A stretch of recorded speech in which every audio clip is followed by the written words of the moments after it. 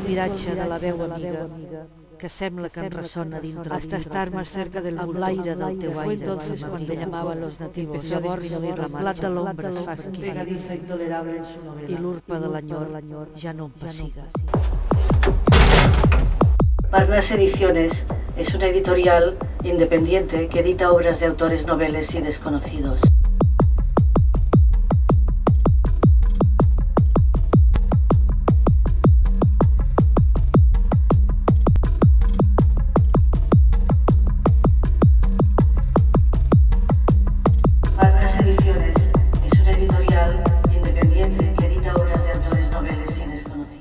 Ahora me gustaría presentaros algunas de las obras de nuestros autores. El adolescente pálido, de Manuel Reguera Saumell. Nico supo imponer su impronta desde el primer momento, distante, evasivo, indiferente a proposiciones por parte de la clientela. El alof, le llamaban los nativos, creó una leyenda urbana, un aura que lo distinguía de los demás chaperitos a vida dólares, el misterioso jovencito tan difícil de abordar que se dejaba querer sin dar el paso final. A partir de esa noche fue un asiduo habitual del club y los escasos clientes que habían logrado comprar su compañía se ufanaban de la conquista, catalogándolo como raro material precioso.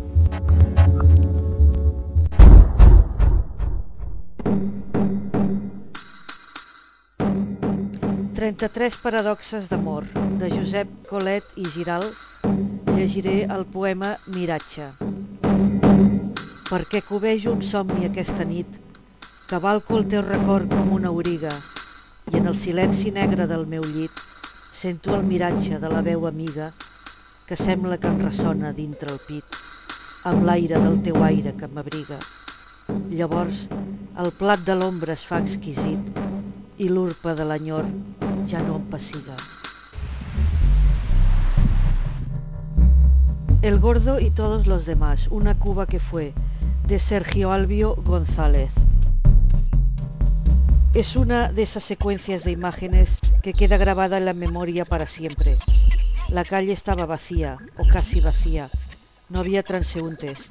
Había un bulto oscuro en la distancia sobre el asfalto de la calzada a unos dos metros de la acera.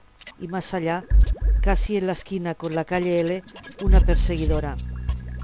Nuestro coche continuó sin aminorar la velocidad hasta estar más cerca del bulto y fue entonces cuando Cuco empezó a disminuir la marcha. Habíamos comprendido que el bulto era un ser humano. A unos 10 metros del cuerpo identifiqué más por intuición que por convicción a la persona que yacía sobre su costado derecho con la cara vuelta hacia el centro de la calle, fácil de reconocerlo.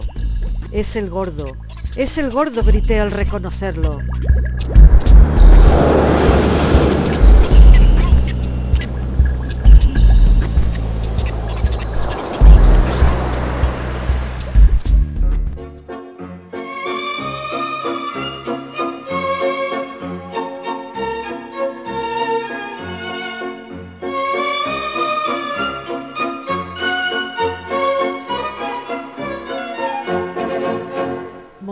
Cumbre del cine mundial, de Federico Revilla.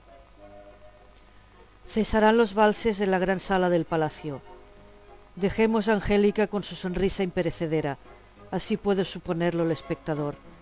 Le cuadra perfectamente ser imperecedera, pero Lampedusa, por desgracia, no sabe que no puede serlo, y se encargará de asesinarla en uno de aquellos capítulos que se nos antojan un pegadizo intolerable en su novela. Visconti ha sido más cauto o más artista y por eso los ha eliminado. Queda la sonrisa para siempre y con ella otra forma de la historia.